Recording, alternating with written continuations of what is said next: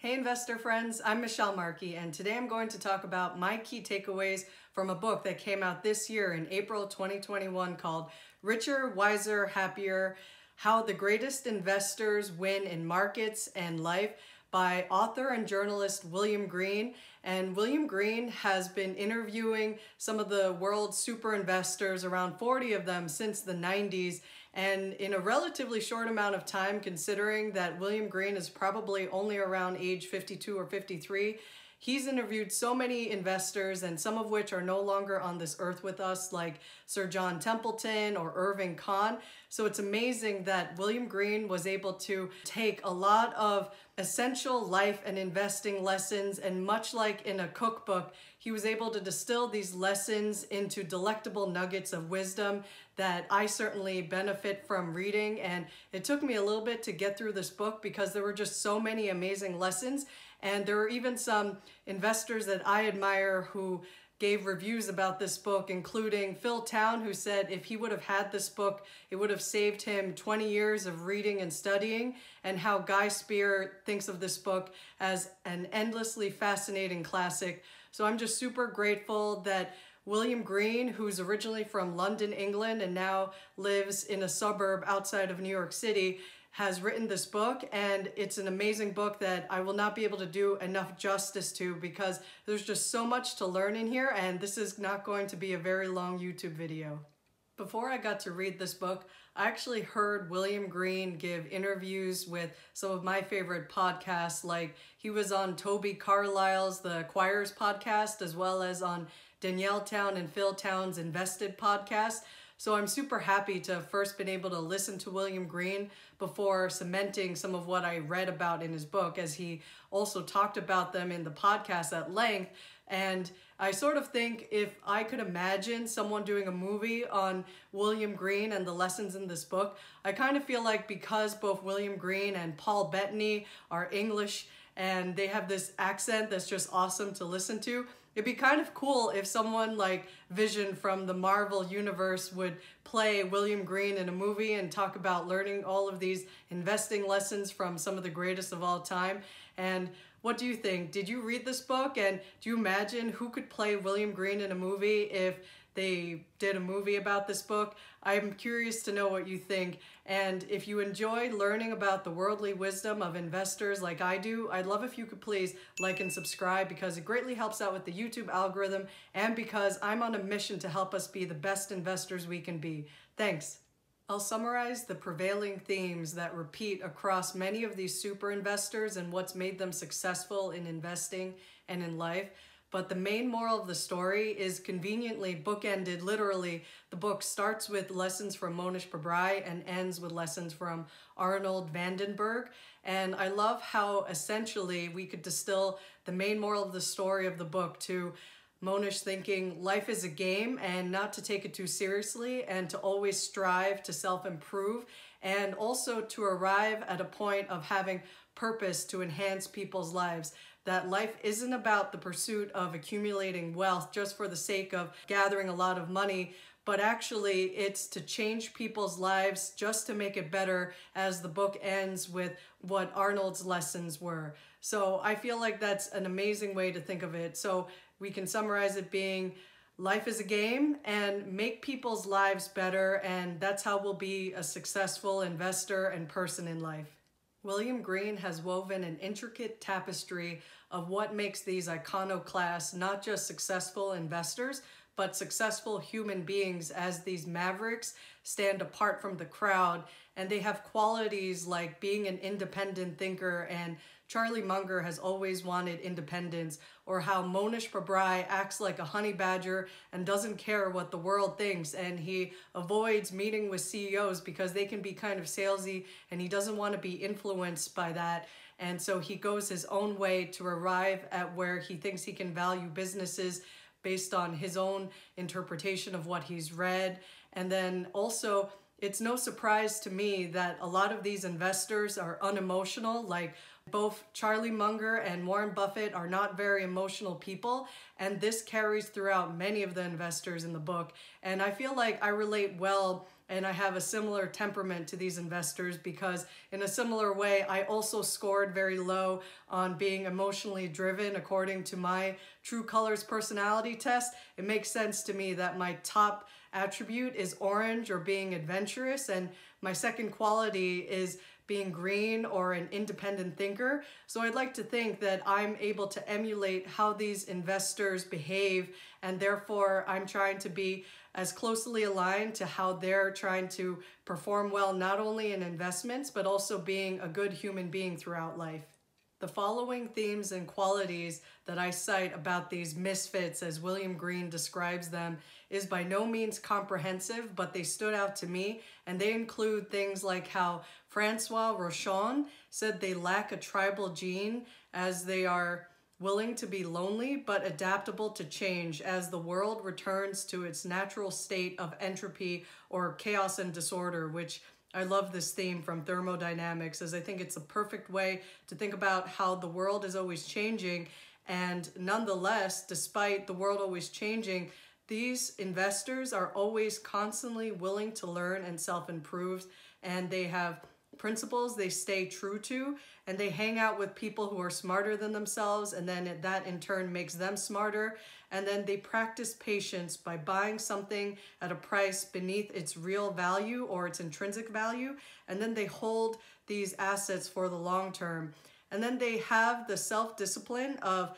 having an inner scorecard that they live by. So that means that they don't get rattled by things that a lot of people value externally, but they live according to their own values and they strive to be useful and of service to humanity. And much like how Charlie Munger has done to succeed in life, he avoids catastrophic mistakes by not being stupid. So trying to avoid life's inanities and asininities is a way to be like Charlie Munger. And then Stoicism can help build one's resilience and ability to withstand adversity by controlling our inner selves so that we can survive against inevitably the bad things that might happen in all of our lives. And everyone has suffered, and it's so telling the people who are able to thrive after they've experienced some negative things in life. Like both Charlie Munger and Mohnish Pabrai and several other of the investors have lived through negative experiences like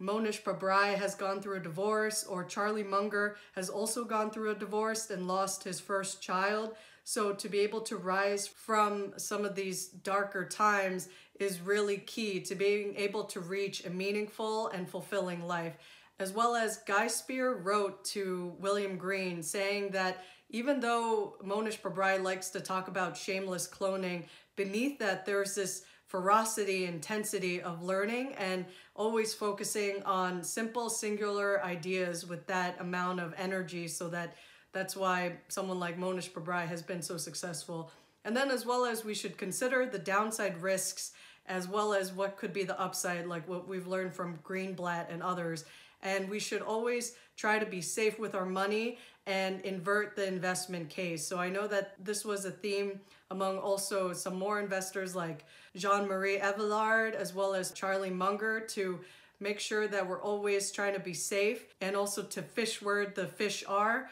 as well as these investors often did not try to maximize their assets under management or their fees like Nick Sleep and his partner Zakaria. They tended to return capital to shareholders when they had reached their investing limits, which I think is really big of these people to be able to know what their boundaries are as far as how much they're able to invest and to represent their shareholders honorably. And often these investors were just as invested in the funds or the holding companies that they're invested in as much as their shareholders are. So they're always trying to live up to having a fiduciary duty to do the right thing. And a lot of these investors choose not to live anywhere near Wall Street. They choose much more serene environments where they can quietly and calmly do their investing practice like how Guy Spier lives in Zurich, Switzerland, or how Chuck Akre lives in Virginia, where he's surrounded by wildlife like foxes and deer. The chapter on high performance habits especially resonated with me because William Green summarizes that the best investors have built a competitive advantage by adopting habits whose benefits compound over time. And this point is also made by a quote from Warren Buffett where he says that a lot of people underestimate the importance of habits until they're in their 40s and 50s. So it's so important to develop the right habits when we're young. And there's some examples of this in this chapter, including people like the head of Markel Corporation, Tom Gayner, who is all about being radically moderate and doing small changes that are sustained over time. And then it leads to being able to do things like reinvesting profits for long-term prosperity. So I think that that's an amazing way to incorporate small habits that might seem incremental and maybe insignificant one day, but built over a lifetime make an amazing difference. Or how people like Laura Geritz and Paul Lountzis are all about reading a lot and then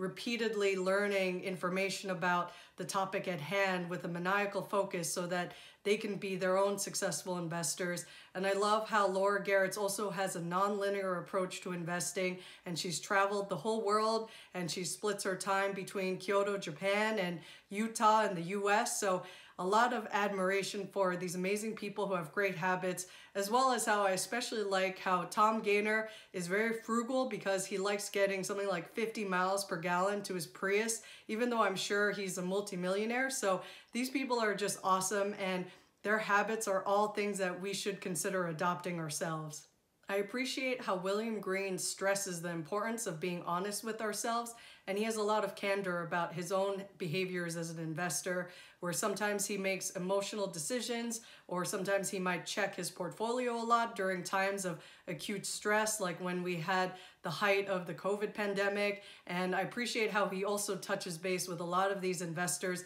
in how they fared during the pandemic, like how Ed Thorp could foresee something bad really happening. So he made sure to prepare all the supplies he was going to need because he's a little bit of an older man. And as much as he's a gambling genius, he wanted to survive the pandemic. So kudos to Ed Thorp for being not only a great investor, but also a really smart human who wanted to preserve his family's health. And then with William Green, I like how he shares what some of his adventures have been in his investment. So he was forthright in sharing how he has three stocks and two index funds and one value oriented hedge fund that he owns, which I think is Aquamarine Capital by Guy Spier. And I don't know what his two index funds are, but he says his three stocks include Berkshire Hathaway, Seritage, and one mining and property company whose name he doesn't disclose.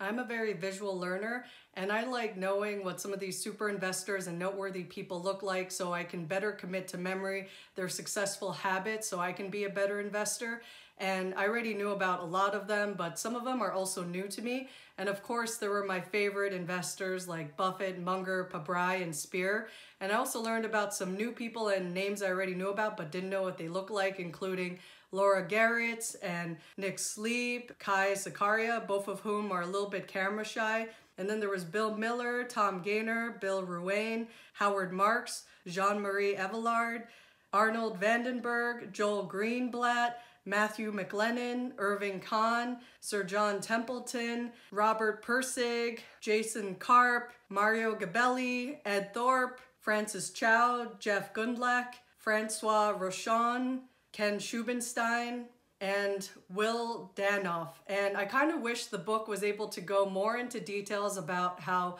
Will Danoff and Guy Spier approach their investing techniques because I think that among what William Green was able to share from the perspectives of Danoff and Spier, that they also have a lot of key insights that I'd love to learn more about. So maybe I'll just Google them some more and learn about some of their key investing lessons as well. There are so many more sagacious lessons I wish I could have touched on today, but maybe I'll do a future video on more of what I've learned after rereading the book and having a chance to internalize the lessons because this book is just so good. Like it's probably now part of my top six of life-changing investing books, along with the ones that you could see in one of my videos about the five investing books that changed my life. And some of what I'll do next is make a checklist of some of the most important questions and key principles that I know William did a great job of outlining. Like he would have a lot of important questions italicized or summarize a lot of key principles in bold.